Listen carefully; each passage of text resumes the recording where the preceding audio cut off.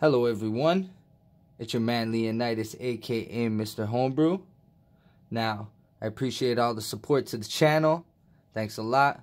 All the likes, subscriptions, shares. Hit that notification icon slash bell for all the latest.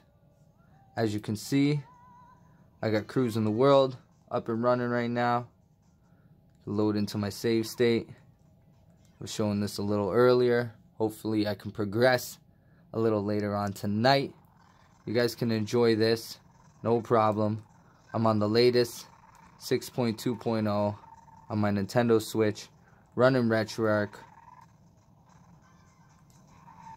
Frame rate's nice. It's not perfect, but it's great. You guys are going to get better frame rates in RetroArch with this package. Everything's updated for you guys. This is going to work on 6.2.0 also. So you guys can be running Homebrew on 6.2.0 with this package and everything. You'll have a nice, beautiful frame rate like this. No question about it. Very good. Look at that. Amazing games. These retro games are legendary. To be able to play Legend of Zelda or Ocarina of Time, you guys will be able to play that no problem. Runs at a good frame rate. You see it here. I'll be running it at a nice frame rate.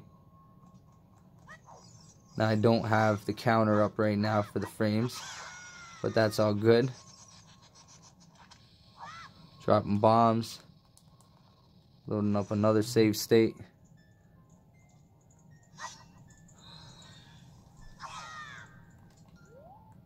You guys will be able to enjoy this, have some fun. If you're already up to date with how to get things running and you already have RetroArch running, you're going to enjoy this a lot. You're going to have a blast. No question about it, just like this. You're going to have fun like that. Blast off into outer space. Anyways, now what you're going to want to do is you're going to want to take your Nintendo Switch. You're going to want to power it off completely.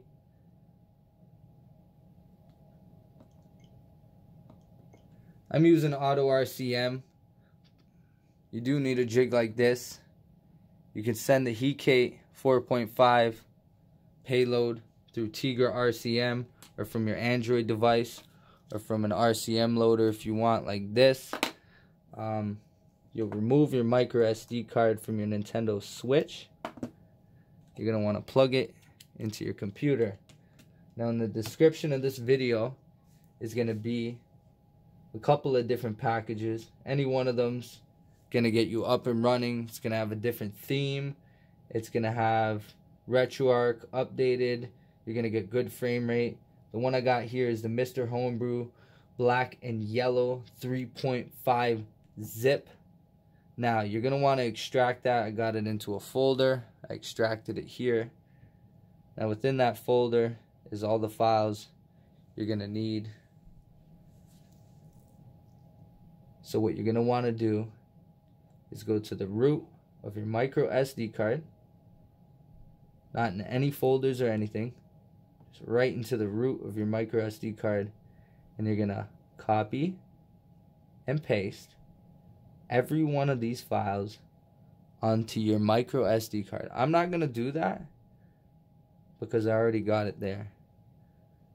Now, once you copy over all those files onto your micro SD card, you're going to take the time to eject your micro SD card properly through Windows. You should have your micro SD card as FAT32.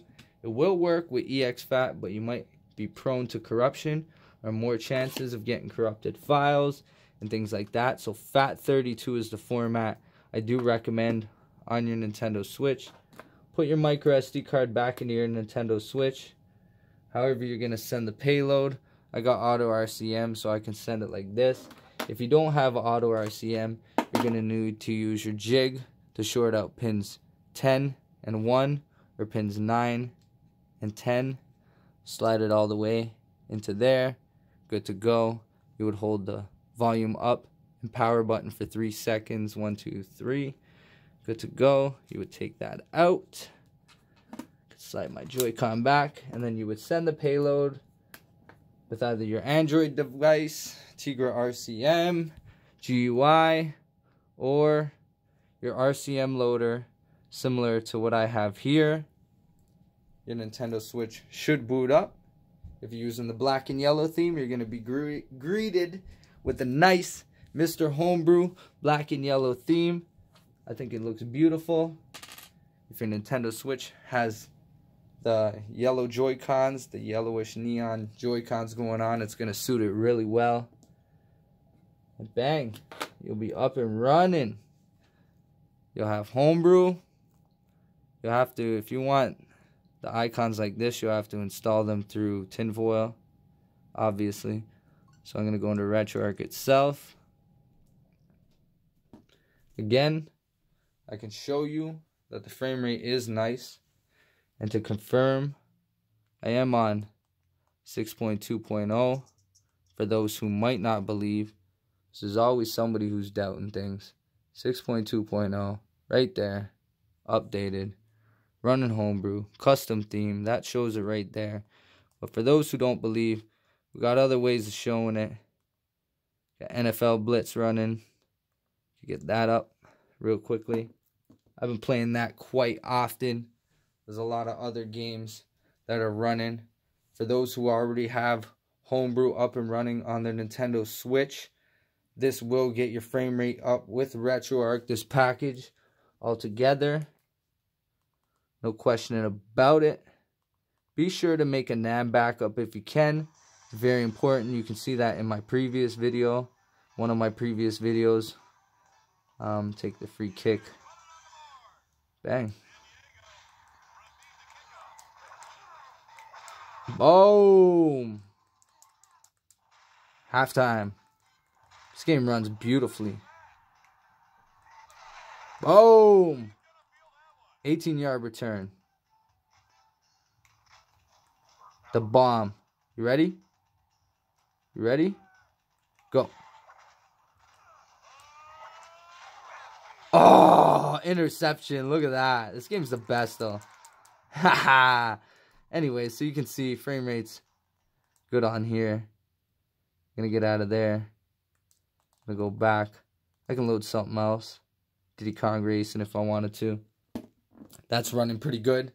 Remember, this package is gonna have you guys enjoying a lot of good things. You're gonna have ChoiDujourNX, which is gonna allow you to upgrade and downgrade. Use the Hekate 4.5 payload. That's the most recommended.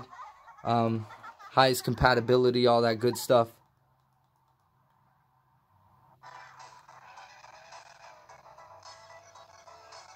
Jump into a level, just like that. Diddy Kong Racing, I got Conker. For those who don't know, the overclocking is done here in the first column and then you would go to CPU overclock. It tells you your current clock and you can underclock, overclock. You got your stock settings. I'm obviously overclocked for a game like this. Things are still being updated constantly with the emulator, but it runs really nice. You can have a lot of fun with these games.